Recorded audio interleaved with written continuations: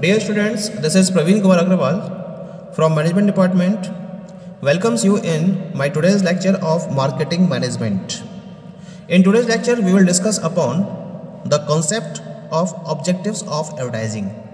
जैसा कि हम कंपोनेंट्स ऑफ़ प्रमोशनल टूल्स को स्टडी कर रहे थे और इसमें हमने पहले टूल यानी कि एडवर्टाइजिंग के कॉन्सेप्ट को डिस्कस करना स्टार्ट किया था आज के टॉपिक में हम डिस्कस करेंगे कि एडवर्टाइजिंग के मेन ऑब्जेक्टिव्स क्या होते हैं जब हम मेन पर्पज़ की बात करते हैं तो एडवर्टाइजिंग को फोकस किया जाता है प्रोडक्ट सर्विसेज़ और आइडियाज़ को सेल करने के पॉइंट ऑफ़ व्यू से। लेकिन जो ब्रीच है, एक प्रोफेसर ब्रीच उनके अकॉर्डिंग जो एडवर्टाइजिंग का पर्पज़ है, वो किसी भी पर्टिकुलर फर्म के रेफरेंस में उसकी cost of percentage cost of production को और डिस्ट्रीब्यूशन को रिड्यूस करना होती है।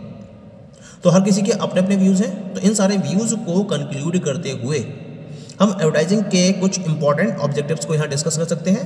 The following are the main important objectives of advertising the very first one is the creation of demand the very first objective and main objective of advertising, that is to create a favorable climate for maintaining or improving sales. और ख़ास तौर से product की growth और maturity stage में। Product चाहे किसी भी स्टेज में क्यों ना हो।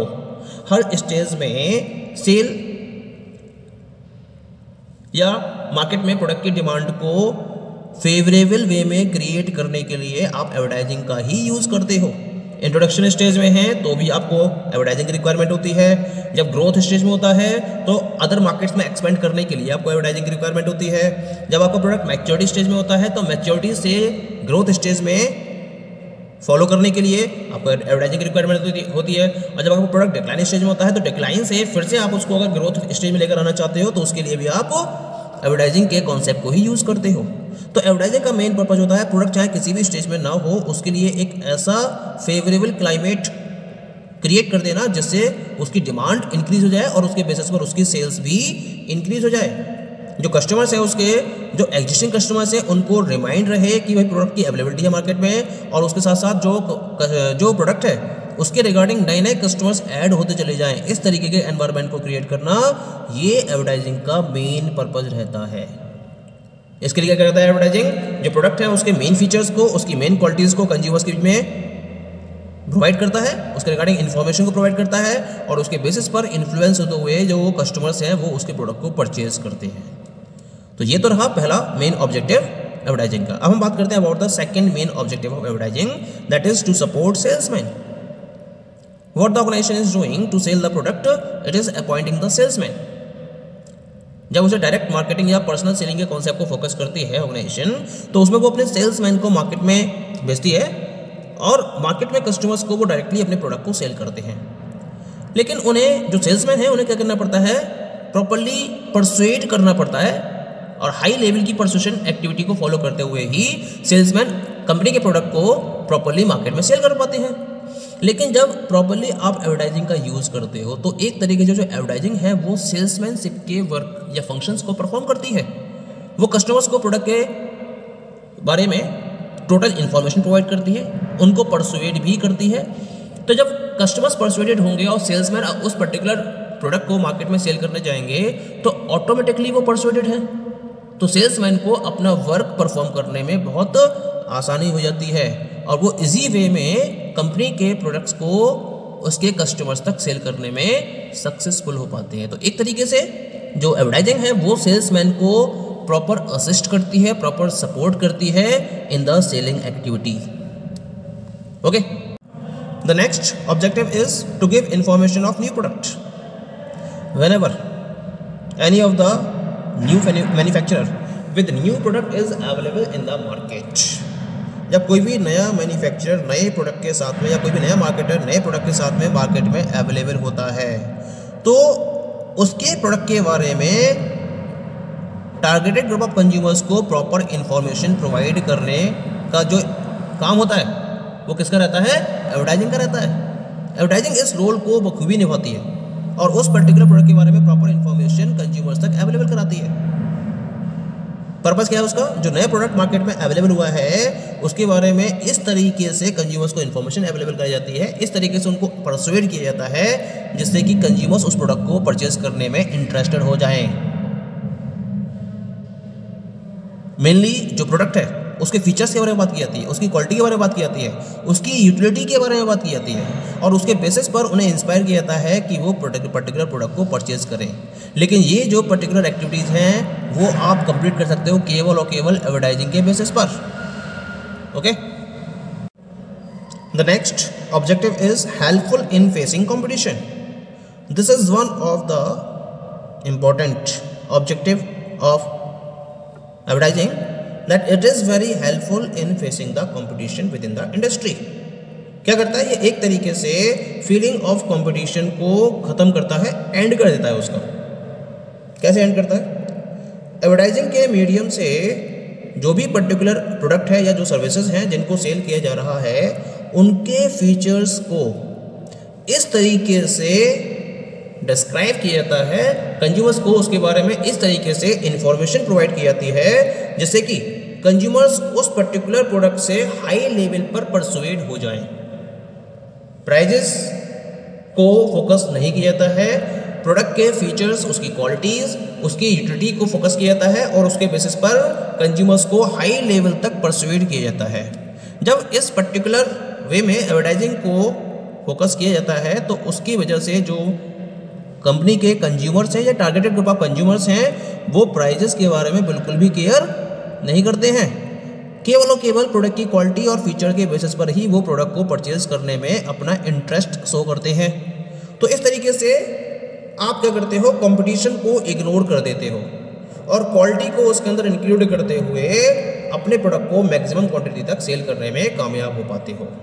तो हम यह कह सकते हैं कि एडवर्टाइजिंग है वो एक तरीके से जो मार्केटर है या जो प्रोड्यूसर है, उसको कंपटीशन फेस करने में बहुत हेल्पफुल रहती है। एक दूसरा भी पॉइंट है इसके अंदर कि मार्केट में कंपटीशन टफ है। आप अपने प्रोडक्ट के बारे में प्रॉपर इन्फॉर्मेशन अवेलेबल कराना चाहते हो तो उसके लिए भी आपको एडवर्टाइजिंग ही यूज़ करनी पड़ेगी। कि जब तक आप एडवर्टाइजिंग को फॉलो नहीं करोगे मैक्सिमम नंबर ऑफ़ कंज्यूमर्स को आपके प्रोडक्ट के बारे में पता नहीं चलेगा। और जब तक पता नहीं चलेगा उन्हें, तब तक वो आपके प्रोडक्ट को परचेज करने की पोजिशन में भी नहीं होंगे। तो जो एडवर्टाइजिंग है, वो आपको कंपटीशन को फेस करने में बहुत हेल्पफुल रहती है। ये इसका सेकेंड ऑब्जेक्टिव होता है फोर्थ ऑब्जेक्टिव है।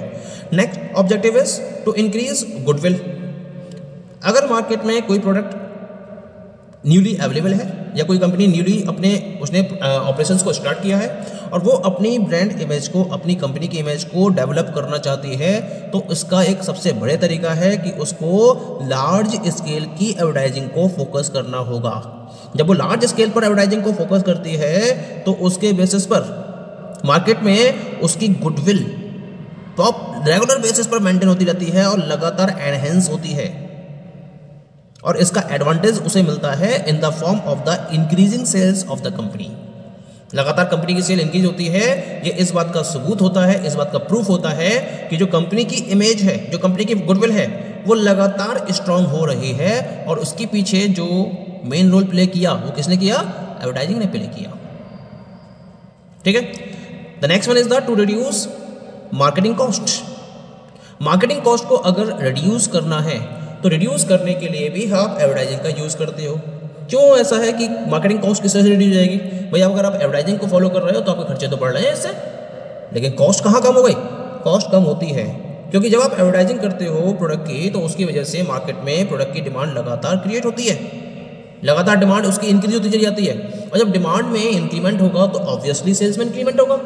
जब सेल्स में इंक्रीमेंट होगा तो उसका टोटल रेवेन्यू इंक्रीज होगा। और जब टोटल रेवेन्यू इंक्रीज होगा तो उसको यहाँ सेल्स इंक्रीज होगी और जब लगातार सेल्स इंक्रीज होती चली जाएगी तो वो ज़्यादा से ज़्यादा प्रोडक्शन करेगी।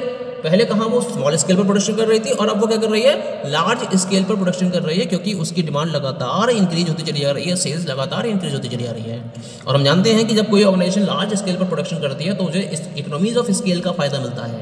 और उस इकोनॉमीज ऑफ़ स्केल का फ़ायदा लेते हुए ऑर्गेनाइजेशन अपनी प्रोडक्शन कॉस्ट को या प्रोडक्शन कॉस्ट पर यूनिट को मिनिमम लेवल तक ले जाती है। तो इस तरीके से जो प्रॉपर डिस्ट्रीब्यूशन कॉस्ट है उसकी, वो भी कम हो जाती है। यानी कि हर जो जितने भी फ़ंक्शन है मार्केटिंग के they are perform at the large level और लार्ज लेवल पर परफॉर्म करने की वजह से जो उनकी कॉस्टिंग है पर यूनिट के पॉइंट ऑफ़ व्यू से, वो लगातार मिनिमम होती चली जाती है। इस तरह से एडवर्टाइजिंग के हेल्प से कोई भी फर्म या कोई भी कंपनी अपनी मार्केटिंग कॉस्ट को रिड्यूस करने में सक्सेसफुल हो पाती है।